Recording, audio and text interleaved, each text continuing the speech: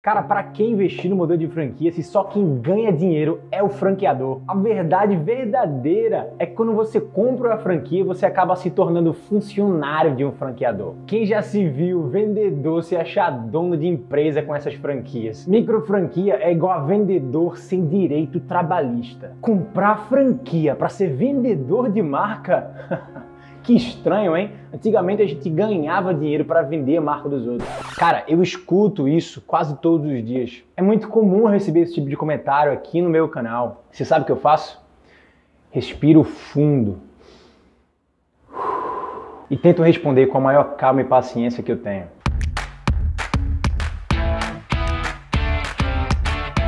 Bom, se você não me conhece, meu nome é Rafael Matos, eu sou empresário empreendedor e tenho esse canal aqui no YouTube. Eu sou o maior youtuber de franquias do Brasil. E é exatamente por falar sobre esse assunto que eu recebo muitos haters que na verdade não entendem de nada do modelo de franquias e acabam despejando aqui no meu canal as suas ideias e as suas crenças sobre o mercado de franquias.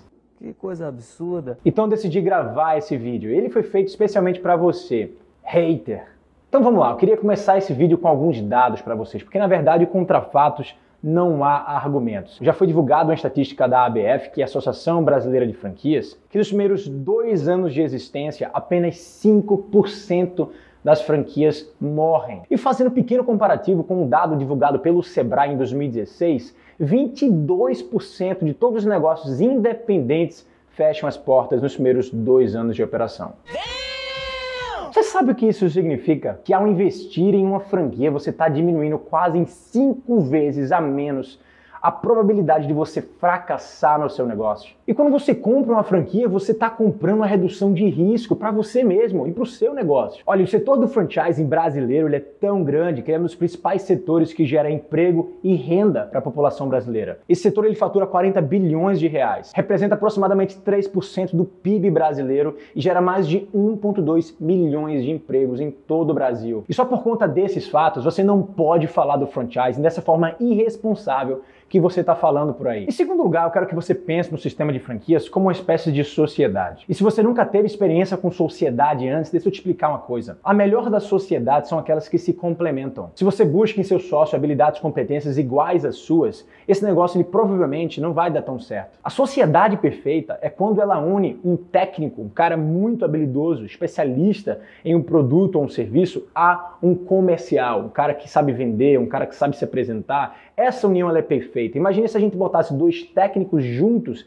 que não sabem vender, não sabem abordar clientes, não sabem se relacionar para tocar um negócio não vai dar certo. A mesma coisa se a gente botar dois vendedores, aquelas pessoas que só sabem falar, só sabem apresentar, só têm discurso, mas não sabem de fato a expertise daquele negócio que eles estão vendendo. Uma franquia funciona dessa forma. O sistema de franchising é um sistema ganha-ganha, onde o franqueador ele tem sim a expertise daquele negócio como um técnico, ele precisa do franqueado para fazer o papel comercial, da gestão local do seu negócio e também da expansão territorial. Enxergando o sistema dessa forma, já te digo de cara, franquias não é para todo mundo. Se você tem tempo suficiente para amadurecer o seu negócio, se você tem dinheiro para investir nele do zero, e se você tiver a expertise, o know-how desse negócio para você mesmo operar, cara, você tem tudo nas mãos. O sistema de franquias ele não foi feito para você. E tá tudo bem. Franchise não é para todo mundo. E no caso das franquias home-based, das micro franquias, que o franqueado tem como principal trabalho a comercialização daquele produto ou serviço no seu mercado, é como na sociedade de um técnico e um comercial, não tem nada de errado com isso. E ao contrário do que você acha, o micro franqueado, ele tem uma estrutura de retaguarda muito forte da franqueadora. Enquanto ele vai fazer sim o trabalho de captação,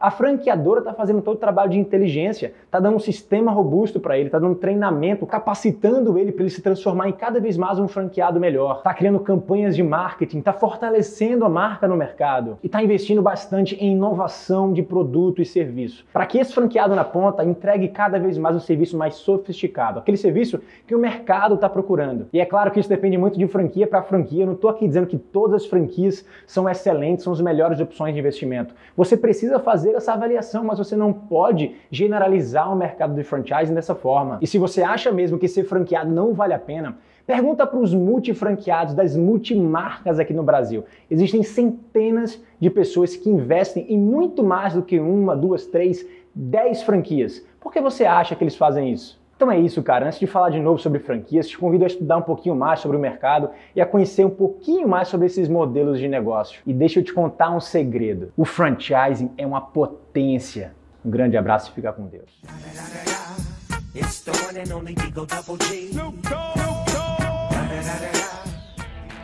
Haters. Haters. Vamos lá. Tô intimidando a galera, não tô não? Simbora.